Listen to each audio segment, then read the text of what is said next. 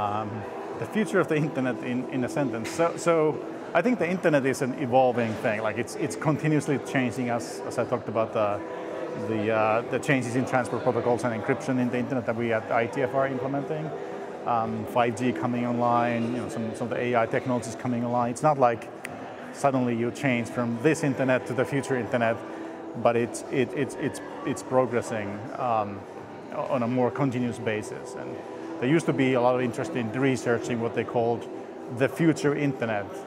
And um, unfortunately, not a lot of people in, in that space focused enough on like, how can we deploy these things and how can we deploy things on a gradual basis.